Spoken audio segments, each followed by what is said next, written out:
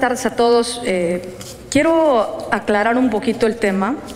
Creo que es importante saber que se hizo un trabajo arduo de, para llegar a, este, a esta conclusión. Se trabajó directamente con la COJUDEC, ya está reclasificado, ya hoy, si, regresamos a un eh, semáforo naranja, ya podrá haber una reapertura con un cierto porcentaje de personas. Lo más importante por lo que se trabó fueron por los protocolos. En su momento también se le mandó una carta a CESA, precisamente porque son los encargados de, definir esto. Nosotros como legisladores creo que está levantar la voz por los más, los más afectados y esa es, eh, al final del día, es lo que queremos, lo que llegamos a la conclusión, el diputado Villatoro, la diputada eh, Judith, que somos eh, parte de la Comisión de Deporte, el que hoy lo que estamos luchando es poner al deporte en otro nivel y la importancia que hoy tiene.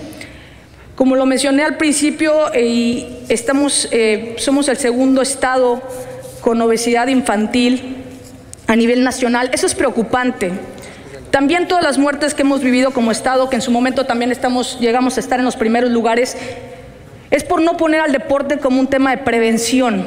Es lo que estamos buscando y llegamos a un acuerdo de que tenemos que ir eh, a poner y darle lugar al deporte hoy en el Estado e ir de fondo tanto con la COJUDEC como la Secretaría de Salud, como la Secretaría de, Educación, porque todos somos responsables de tener y ser el segundo lugar en obesidad infantil en el país.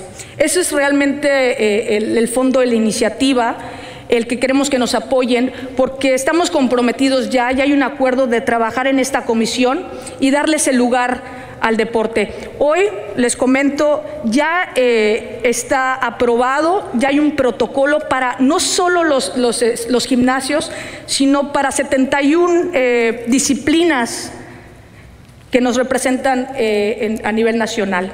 Ese fue el trabajo y por lo que se trabajó, porque no queríamos que ninguna disciplina se viera afectada y sobre todo también estas microempresas que no tenían eh, ventilación, estas microempresas que estos gimnasios que no son privados eh, y que están beneficiados por tener una ventilación correcta. Eso fue nuestra preocupación y se dio el seguimiento correspondiente y gracias a eso hoy si regresamos al, al semáforo naranja se puede haber una reapertura, pero con un protocolo ya aprobado por la COJUDEC, aprobado por CESA, que eso es lo que en su momento nos correspondía hacer, y se hizo, se hizo ese trabajo. Hoy estamos comprometidos como Comisión de Deporte de darle seguimiento, pero hacer una transformación completa y regresar al deporte al lugar que tiene que estar. Por eso pedimos eh, que nos apoyen en esta iniciativa. Entendemos que suena, eh, entendemos la parte legislativa y suena eh, que ya está